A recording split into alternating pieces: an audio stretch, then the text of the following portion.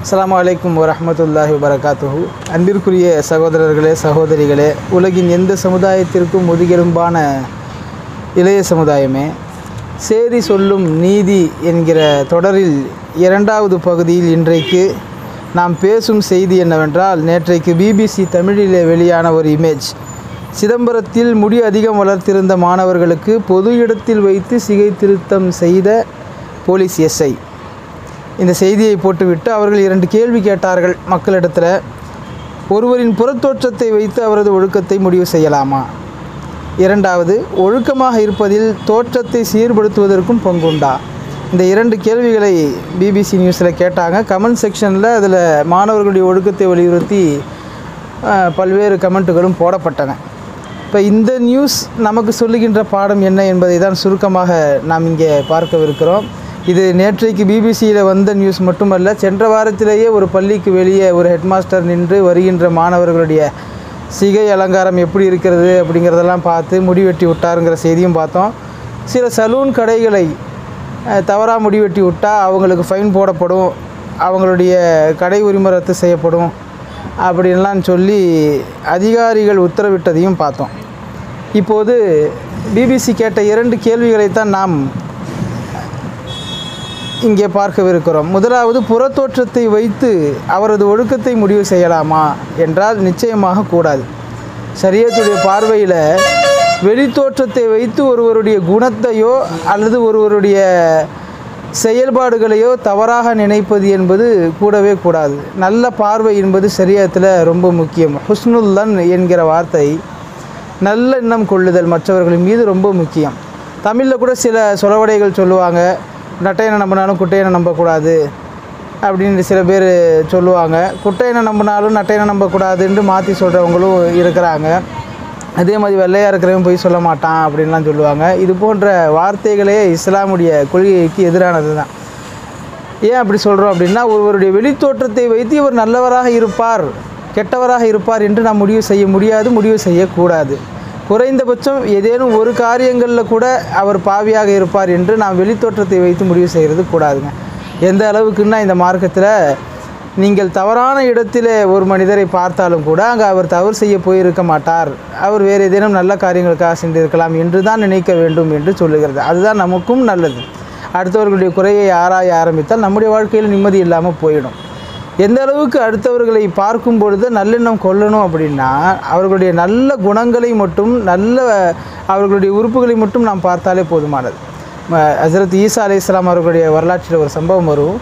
ஈசா நபி தன்னுடைய நண்பர்களோடு ஒரு பாதையில் பயணித்து போகிறார். அங்கே வந்து ஒரு செத்த நாயின் பிணம் ஒன்று பாதி அழுகிய நிலையில் கிடக்குது. இரண்டு இரண்டு மூன்று நாட்கள் ஆன மாதிரி ஒரு பிரேதம். அதை பார்த்த உடனே அஞ்சாறு பேர் பார்க்கும் பொழுது ஒருத்தர் சொல்கிறாரு இறந்து போய் இப்படி நாத்தம் வீசுது. இன்னொருத்தர் சொல்கிறாரு இறந்து போய் நாலஞ்சு நாள் இருக்கும் போல மூணு நாள் இருக்கும் போல. இப்படியெல்லாம் கருத்துக்கள் வரும் பொழுது ஈசா நபி அவர்கள் தெரிவித்த கருத்து என்னென்னா அந்த நாயினுடைய பற்களை பாருங்கள்.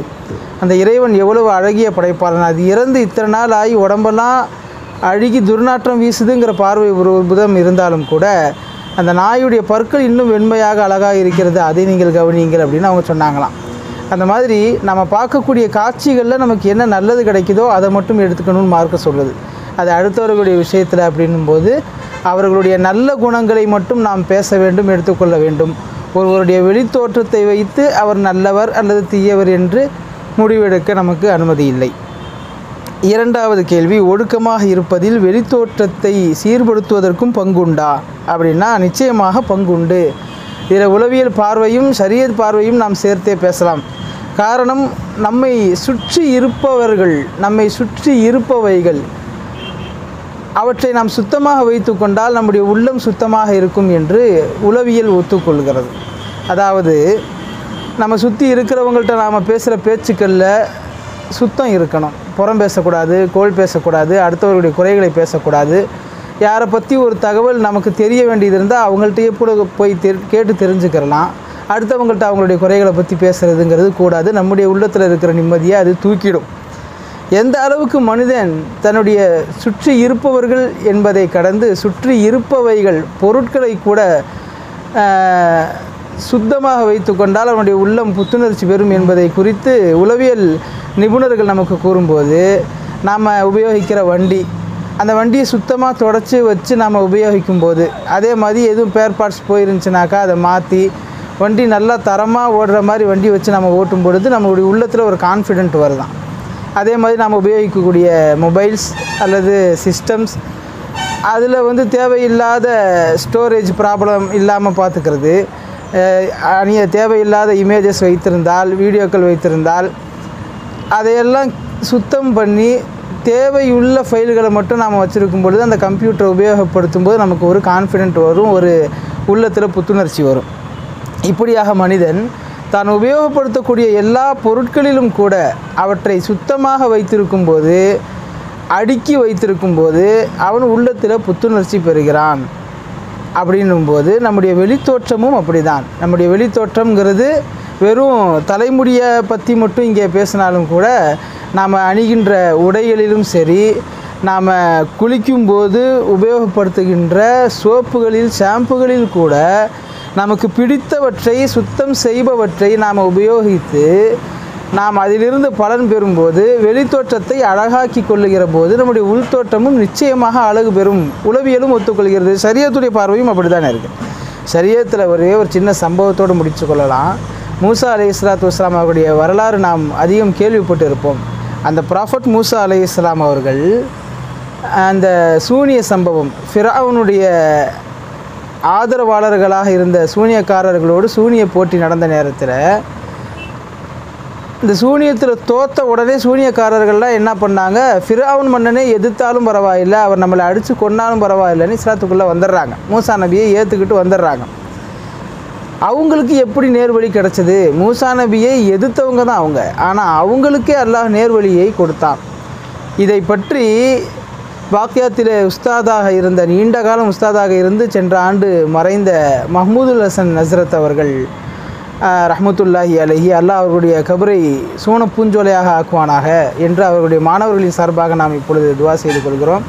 ஹசரத் அவர்கள் இந்த ஃபிராவுனுடைய சூனியக்காரர்கள் ஃபிராவுனுடைய மிரட்டுதலுக்கும் கூட அஞ்சாமல் எப்படி இஸ்லாத்துக்குள்ளே வந்தாங்க?